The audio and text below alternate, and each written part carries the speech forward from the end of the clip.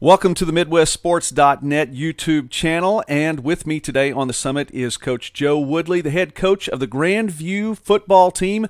And, Coach, your team continues to run in the playoffs. The Vikings earned a hard fought 14 6 victory last week over the College of Idaho. And, and uh, you just continue to roll. A couple of wins in the playoffs, both tightly contested after a 31 30 victory over Concordia the previous weekend. But let's talk about this past weekend and the win over the Yotes. Yeah, Joey, it was uh, it was like you said, a hard fought win, and uh, I thought we uh, you know we, we played pretty good. Uh, you know, the I know the 14 points may not sound like uh, we were very efficient on offense, but uh, I, I I feel that we were. Um, you know, we, we got out of some tough field positions. We punted the ball. We won field position all day long. Uh, and I thought that was going to be a key uh, against this College of Idaho team. They scored 70 points in the first round, and I think they were averaging 50 some points throughout the course of the season. So uh, we knew uh, they, they were going to be a tough, tough animal uh, to, to handle uh, defensively for us with their offense. They had a quarterback that's very elusive, and uh, they run design quarterback run plays, and it's those are always tough to defend just because. Uh, an extra gap gets created, and you're you're going to be short, so guys have to get off blocks and uh, kind of two gap a little bit. And I thought, you know, and they got some things going, and I knew they would because that's their identity. They were going to run the football. Uh, but the thing I think we took care of uh, or took away from them and made them play a little bit left-handed was was their play action and uh, you know their their naked naked bootleg and all that type of stuff. So we, you know, we got up on the line of scrimmage, and you know we weren't going to just sit there and uh, only rush three or four uh, and let that kid have all day to kind of survey the land uh, in the past game because that's what they've been very successful with. So we wanted to to get up and challenge him, and we were going to play some man coverage behind it to, to make him make some good throws. And uh, we were able to, you know, intercept him twice, and uh, he actually fumbled it once uh, that we recovered. So, um, you know, we feel uh, the game plan worked out pretty well. Uh, and then we get a stop at the end of the game on, or towards the end of the game, it was fourth and one, and they're they're driving down to you know, possibly, you know, score a touchdown and get a two point conversion to tie it. But uh, they went forward on fourth and one right around the 15 yard line, I think it was, and uh, going in, and uh, we come up with a huge stop, and uh, we had, we did that a couple uh, couple times on on Saturday with some fourth down stops. So all those things kind of played into that victory, and uh, like I said, our our special teams were uh, outstanding uh, as they have been most of the year uh, especially with our punter. He's arguably one of our most valuable players. Uh, and I knew that coming into the year, and I knew he'd be valuable just because, um, you know, coming into this season, we didn't return one uh, starting offensive uh, offensive lineman, so we had five new linemen. wow. Yeah, yeah, and I so I knew it was going to be uh, kind of an uphill battle a little bit at first, but those guys have come along, and we have found ways to complement them with some of the things we're doing on offense, and um, you know, here here we are at 13 and 0 in the semis, and um, you know, I, I didn't anticipate this, but uh, you know, I mean, of course, of course, you expect to win every game you play in, but you know, things happen, and uh, but but there's just something different about this team, and you know, I I, I wish I could bottle it up and, and and know exactly what it is, but uh, we we've got great leadership.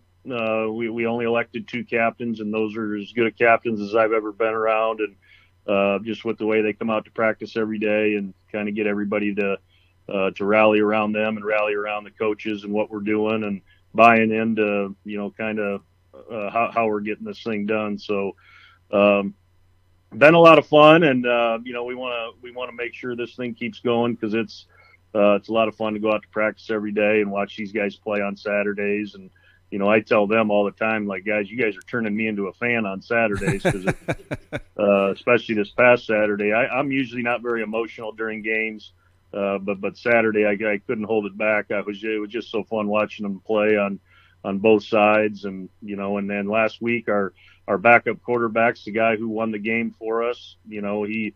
Uh, he was actually our starter a year ago, and then uh, through three games this year, I made a switch and uh, brought a kid in, but he got hurt in the first round game, and so he couldn't play uh, Saturday. So Ben Firkin, who was our starter a year ago, came in and you know he managed the game, did a heck of a job, made some really good throws, and uh, he just operated our offense, and you know, and that's that's all we asked asked him to do, and he did it, and uh, found a way to uh, to keep this thing going. Wow, coach. I, and I can imagine not only it would be emotional, but it would be fun to watch that, especially from your perspective uh, down on the sideline. Well, you talk about the defense, and that's really something I wanted to, to talk about as well. You know, the, the long drive you mentioned, I mean, nearly 80 yards as College of Idaho was driving in the fourth quarter. You shut that down and stop it on, on downs. You go back to the second quarter again because that's really where you all were able to to really put the points on the board that you needed to. And and you mentioned uh, the the defense and the way it played. Of course, you get on the board after trailing three nothing, and then uh, Ben Firkin finds uh, Anthony Turner for a touchdown pass. You get the ball right back after that interception, and and and what you all were able to do on defense and shut down the College of Idaho offense in that way and picking off the ball there, coming right back. Jerry Lowe with the touchdown uh, to follow that, and then a fumble, uh, missed field goal, but then another interception at the end of the half, and that shut down another drive right right before the half. So uh, a big second quarter. You score all 14 points there, but it was enough. Yeah, it was, and like I said, that defense just kind of you know they. Uh, you know, we scored our first touchdown off turnover, second one, and then we got another one and uh, you know we just you know I I lined up to to go for it on about fourth and I think it was fourth and five or fourth and six. We were about the 27 yard line. Uh, that's two yards past my kind of threshold for our kickers uh, when I want to attempt a, a, field goal. But we had a good wind behind us, so I decided to I decided to call a timeout after we had lined up. I'm like, you know what, these points are so critical. Uh, if we can get them, obviously hindsight's 2020. But had we had those extra three points at the end of the game, you know, we were going to be sitting pretty. But uh, it, it doinked off the upright, and uh, you know, and, and we got a really good kicker, and you know, we can't expect him to make them all. And he's made, I think, I'm not sure what he is this year. I want to say he's maybe 11 to 15 or something like that. So the odds were good, and I said, you know, let's give Ham a shot. And um, you know, we, we we missed there. It would have been nice to to get some points off that other turnover, but uh, but yeah, you know, Brendan Flowers played a, you know, he made a big time pick right, you know, early on there in the second, uh, then got another one as they were driving because their their kicker is outstanding for Idaho. So we kept three points off the board there for them. Um, you know, for for him going to make that play. So just you know, it's it's been like that most of the year. Uh, just timely stops. You know, I don't think we're an overly talented football team. Uh, we, we've just really played well. Uh, you know, like I said, complementary football, offense, defense, special teams. Uh, just trying not to put ourselves in bad situations. You know, we went through uh, two playoff games, knock on wood, without turning the football over. Uh, and anytime you do that, you're going to be in great shape. So, and uh, early on in the year, we weren't taking care of the ball, uh, taking care of the football very well. And uh, you know, we've just gotten better and better. You know, we stress it all the time, and uh, kids are really starting to buy into it. Our penalties have been good uh, the past two games now. Granted, I think once you get to the playoffs, they kind of let you play a little bit. I wish that's how the the regular season was. they're they're looking for everything in the regular season, but uh, they kind of just let the teams decide it, and you know, and there's calls you know you get upset about, but they're doing it both ways. We've been we've had two really good crews, I think, uh, official wise, and you know, like I said, they just let you play, and that's uh, that's how it should be, you know, because you could call holding, you could call a lot of things about every down, but right, you know, is it really affecting the play? You know, and that's kind of the way I've always looked at, uh, you know, some of those um, uh, officiating crews.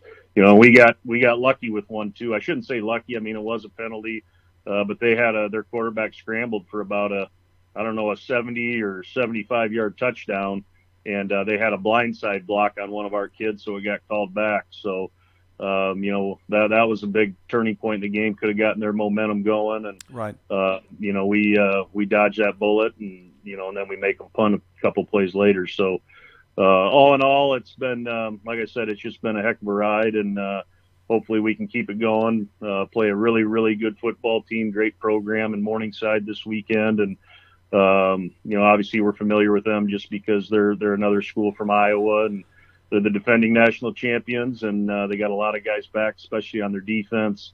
Um, you know, probably as good a defense as we will play this year. Uh, and this quarterback they got's outstanding. They got great, great receivers. Their running back is probably uh, one of the one. He's one A and one B probably of the kids we've played this year. Um, so we we got our hands full this week, and uh, but but then again, I feel like we have the first two playoff games too. So uh, but these guys just keep finding a way, and and hopefully we can do that on Saturday. Coach, and speaking now with Coach Joe Woodley, the head coach of Grand View, and Coach, one more question. I, I mean, and I appreciate your time today. You you've answered all of the, all of the questions I would have wanted to ask anyway. You've done it. you, have set this up well, and I really appreciate that. And and I'm thankful for your time. You, you talk about Morningside. Obviously, that's a tall order, the number one team in the country. Y'all don't have much of a history with them, but of course, you know the, the Grand View program's been around just a little bit more than a decade, and you've been there since its inception. Uh, offensive coordinator, defensive coordinator, and now in your first season as, as the head coach. Well, I would imagine it's been a fun ride. I mean, 13 games, you haven't picked up a loss yet, so congratulations to yeah, you for that, yeah. uh, for your record. But but uh, let me ask one more thing about defense. And you know, offense is always the the big thing. People like, the, you know, we always heard in the baseball um, commercials a few years back. You know, chicks dig the long ball. That you know, Yeah. everybody wants the home run, and they like the you know the score when it's uh, 45 to 38 or something like that.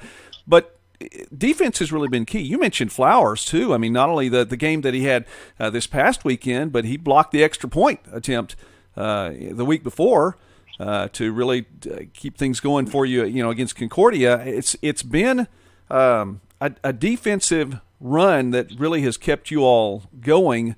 But it shouldn't be a surprise because the three top teams in the NAIA right right now in defense, uh, Morningside and Marian, and of course Grand View, are all three of the four teams that are remaining, and Lindsey Wilson is in the top 10 as well. So, you know, the old adage that defense wins championships, clearly that looks like it's going to be the case in 2019.